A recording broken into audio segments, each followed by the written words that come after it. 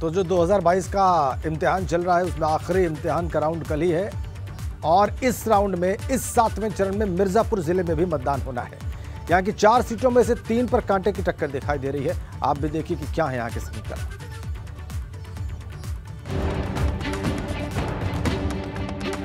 मिर्जापुर ज़िले में विधानसभा की पाँच सीटें हैं। 2017 में मिर्जापुर की चार सीटों पर भाजपा ने कब्जा किया था, जबकि एक सीट पर अपना दल एस ने जीत दर्ज की थी।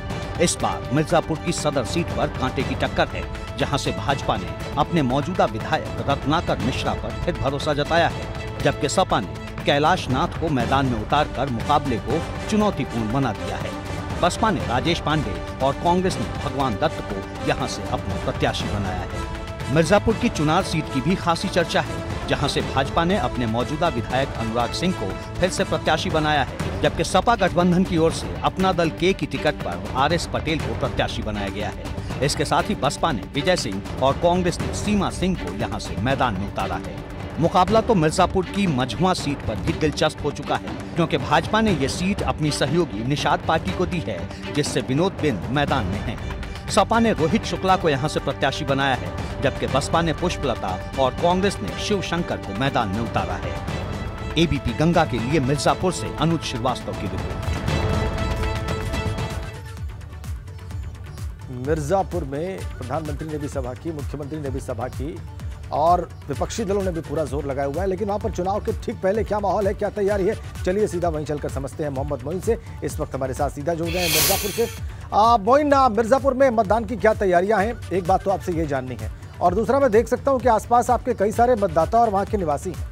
ये किन मुद्दों पर वोट डाल सकते हैं? कल इनसे बात करें। देखिए, मिर्जापुर में भी पाँच सीटों पर कल मतदान होना है। पोलिंग पार्टियों को रवाना कर दिया गया है। ज़्यादातर पोलिंग पार्टी जो है, वो अपने अपने सेंटर्स पर पहुँच चुकी हैं। कल जो उम्मीदवार हैं यहाँ के, उनकी तकदीर का फैसला होगा। अठारह लाख इक्यानवे हज़ार वोटर्स हैं। वोटर चुप्पी साधे हुए हैं। तमाम वोटर्स हमारे साथ हैं। हम उनसे बात कर लेते हैं जानने की कोशिश करते हैं। बताइए, क्या मुद्दे हैं? किन मुद्दों पर आप लोग वोट करेंगे? बेरोजगारी मुद्दा है बहुत बड़ा। सड़क बिजली पानी बिजली का रेट बहुत हाई है यूपी में। यूपी उत्पादक है बिजली का उसके बावजूद भी यूपी में आ, पिछली बार बीजेपी ने पाँच की पाँचों सीटें जीती थी बीजेपी और उसके गठबंधन ने। लगता है कि इस बार भी ऐसा ही होगा? इस बार ऐसा नहीं होगा इस बार परिवर्तन होगा और इस बार का सबसे जो बड़ा मुद्दा है वो तीन मुद्दा है। एक महिला सुरक्षा है दूसरा बेरोजगारी है और तीसरी महँगाई है। आप देख आप लोग खुद समझदार लोग हैं। आप बताइए विकास मुद्दा है या नहीं इस बार? लगता है कि सरकार पाँच सालों में विकास बिल्कुल हुआ है। बिल्कुल हुआ है। बहुत अच्छे से विकास हुआ है। बिल्कुल। आप बताइए आप किस मुद्दे पर मैं सर इस सरकार की सबसे नाकामी में विरोध करता हूँ और नाकामी में मैं वोट डालूँगा। क्योंकि अभी एक भाई ने कहा कि बिजली के बिल पे मुख्यमंत्री योगी आदित्यनाथ जी ने कहा था कि बिल आधा हो गया है और ऐसा कुछ नहीं हुआ। मैंने पूरा बिजली का बिल दिया सिर्फ़ दिखाने के लिए। प्रेस वार्ता करके उन्होंने जारी किया। और लोग हैं उनसे बात करें। बताइए, आपके सामने क्या जी सर्वप्रथम मैं एबीपी न्यूज़ चैनल के माध्यम से ये बता देना चाहता हूँ कि मेरा किसी पार्टी से कोई लेना देना नहीं है। मिर्ज़ापुर की जनता को छः मूलभूत सुविधाओं की दरकार है। स्वास्थ्य शिक्षा रोज़गार रोटी कपड़ा मकान जिससे मिर्ज़ापुर की जनता वंचित है। मैंने 2012 की बताइए ये मुद्दे ये जो मुद्दे इन्होंने बताए लगता है कि मौजूदा सरकार में ये सारी चीज़ें मिल रही हैं? नहीं मिल रही है ठीक से ठीक से नहीं मिल रही। क्या होगा मिर्ज़ापुर मिर्ज़ापुर में बदलाव नहीं होगा फिर से एक बार हमारे रत्नाकर मिश्रा जी यहाँ पर विधायक बनेंगे और उन्होंने विकास का कार्य बहुत ही अच्छी तरीके से किया है। तो और आप बताइए क्या लगता है क्या मुद्दे हैं? बदलाव बदलाव। बदलाव करेंगे आप क्या करेंगे? महिला सबसे देखिए बड़ी सुरक्षा महिला सुरक्षा है। आप एनसीआरबी का डेटा उठा के देख लीजिए।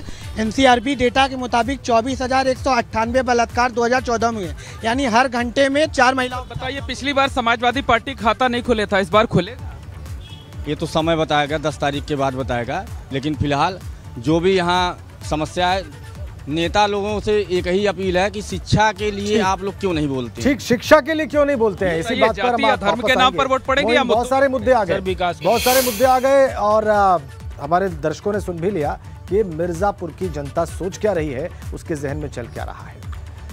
सातवें चरण में जिस सीट पर सबकी निगाहें टिकी हुई हैं उसमें मऊ की सदर और घोसी सीट भी शामिल है। मऊ सदर सीट का इतिहास बहुत दिलचस्प है। मऊ सदर सीट पर उन्नीस सौ छियानवे से मुख्तार अंसारी का कब्जा रहा है, लेकिन इस बार मुख्तार अंसारी के बेटे अब्बास अंसारी मैदान में और वो अपनी जीत का दावा कर रहे हैं। लेकिन पिता की विरासत संभालने के लिए जिस तरह से अब्बास अंसारी मैदान में आए, उसने विरोधियों के लिए चुनौती बढ़ा दी वहीं घोसी सीट पर भी सियासी जंग आर पार की दिख रही है।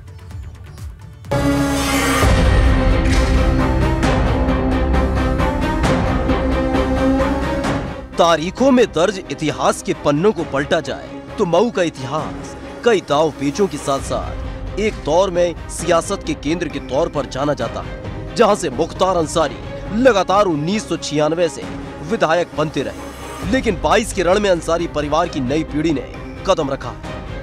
मऊ सदर सीट एक बार फिर से चर्चा में है, क्योंकि यहाँ से सुभाषपा के प्रत्याशी अब्बास अंसारी मैदान में है। तो वही दूसरी तरफ़ भारतीय जनता पार्टी के प्रत्याशी अशोक सिंह है। यूँ तो मऊ सदर सीट पर और भी प्रत्याशी है, लेकिन कांटे की टक्कर अब्बास अंसारी और अशोक सिंह के बीच देखी जा रही है, क्योंकि जो अशोक सिंह भाजपा की टिकट पर अब्बास अंसारी को चुनौती दे रहे हैं, वो ठेकेदार अजय प्रकाश सिंह के भाई हैं। अजय प्रकाश सिंह की 2009 में हत्या कर दी गई थी, जिसका आरोप मुख्तार अंसारी पर लगा था।